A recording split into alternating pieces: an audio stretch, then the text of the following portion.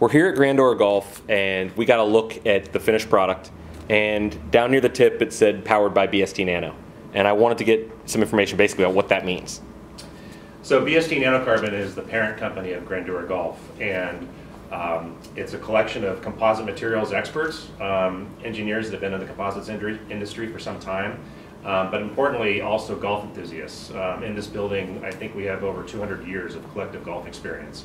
So we've seen a lot of things done right out there, we've seen a lot of things done not so right, and so we're applying not only our materials expertise and our design expertise, but also our golf knowledge uh, to this product to create what we really believe will be groundbreaking.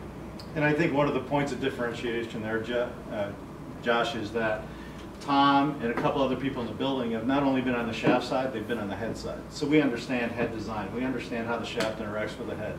A lot of the companies that are our competitors uh, are just shaft guys. So they design the shaft and they don't necessarily understand all the parameters that the head offers to it. So we've got a little bit more knowledge base than a lot of the other companies out there. Yeah, and again, to iterate, it comes down to materials and understanding materials. And the owners, um, you know, they've done this before, they've manufactured before, they've come up with unique materials before, and then, uh, you know, they've learned how to optimize those. So to Tom's point, talking about our experience, it isn't just in the design group, but it goes all the way down to the manufacturing floor. We have people who have been doing this for years.